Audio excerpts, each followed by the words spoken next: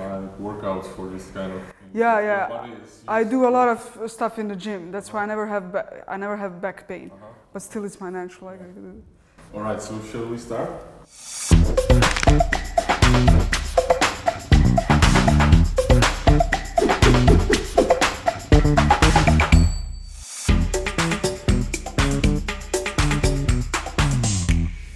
Lejla Tanović is a 14-time national champion of Bosnia and Herzegovina, a four-time Balkan champion, and uh, finished the last season as eighth marathon cyclist uh, in the world. So you're a cyclist. Yeah, basically uh, cross country and uh, marathon cyclist. If that's that's the most important, yeah.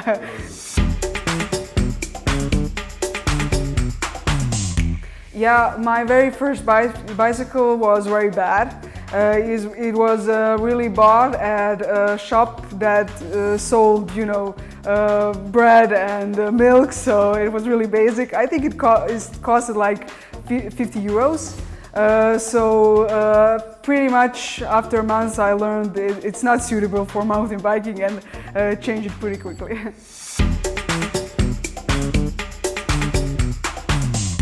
Yeah, I would say cycling is getting really, really big in Bosnia. Uh, first of all, uh, there's a lot of hills and it, a lot of amazing natural stuff that are really just accessible uh, with a mountain bike. Uh, besides from the you know uh, nature, the competitions are really starting to get big. There's a lot of young children, and that's what really makes me happy. And uh, a lot of uh, futures, future hopes of uh, mountain biking in Bosnia and Herzegovina. Uh, I would definitely uh, be a nerd. Like I uh, finished law school and I would be a lawyer for sure. Uh, but I'm also sure I would be uh, having uh, 20 kilograms more because I love to eat and uh, I was just starting to get really big when I started cycling. So it really changed my life in a positive direction. Yeah, it's definitely marathon cycling. Uh, since in the last year, year and a half, I've discovered a huge love for it, uh, and I've discovered I really have a big, big talent. Uh, after eighth place at World uh, Championship last year, uh, I started to get more into it. So I, I would say I'm both now specialized in cross country and marathon racing.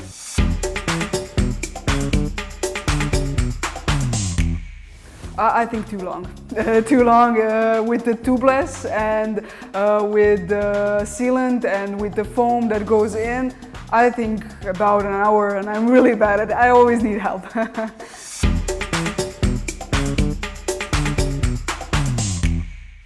Uh, I think probably probably none. I just when I hear it, I know it's it's the same in my language, but uh, I don't know.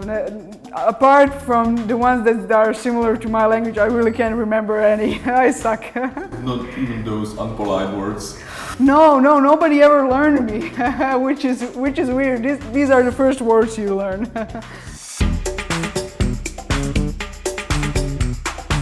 Uh, for me, it's day that's completely structured, planned out. Uh, it's really important for me to have the structure, to have uh, a big nap, to have uh, breakfast, uh, to have a good training, then recovery, of course, uh, with Nutrend, Nutrend supplements, uh, and then after that lunch, and then uh, after that another training, then dinner, uh, for, and then maybe a short walk, uh, having spending time with my family. So when I have this, you know, usual day, and when I have it every day, uh, it really makes me really makes me happy. Like this control and consistency is something I uh, I strive to have every day. Uh, well, uh, I would say I relax, but if uh, I do some activity, I feel so much better. If I just lay down, I just feel really bad. And I think that's why I do uh, what I do. I do cycling because it really makes me happy. So uh, for me, uh, relax mode is really a mode of being, being active. I don't have to run. I just like to, you know, get out, be, be in the open. Uh, so that's really, really a lifestyle. Pizza. Pizza is my number one. I, uh, I prepare good pizza and I eat pizza after every race. Uh, this is like my tradition. Uh, after bad races, after good races, I always have pizza uh, because it's really something I look forward to and uh, it really means that I have pizza no matter the result. Life goes on. So that's why I prepare pizza. It makes uh, makes me also feel happy, as and also it makes other people happy.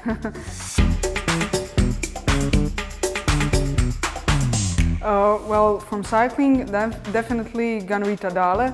Uh, she competed for so many years and uh, she was just a great ambassador for the sport and I met her when I was just uh, start when I just started cycling uh, and she was really an amazing person an amazing uh, amazing cyclist to learn from and apart from cycling Lindsey Vonn because she had so many injuries and uh, I've had a few myself and uh, every time I, I was really feeling down, I just remembered the way she handled it. So uh, those are the really, really uh, my role models from, uh, from sports.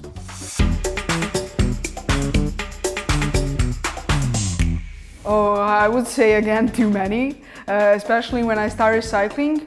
Uh, for me, I just tested my boundaries a lot, but you need to test your boundaries to know how far you can go. Uh, so that is the way I actually learned to ride downhills and uphills.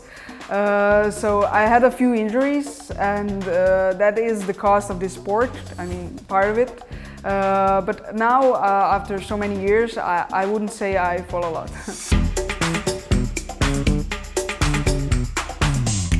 uh, 70 kilometers per hour, which is not a lot, but in my defense, I have 52 kilos and I'm just slowing down when I go down hills. I have to pedal it out, so that 70 kilometers per hour is all me, so it is not the force of nature.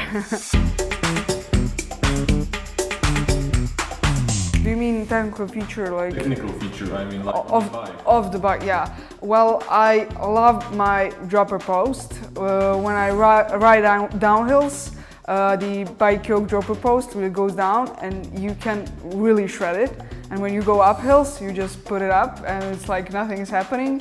Uh, so uh, that is something, the technology that really changed my uh, way of riding and helped me downhills and uphills.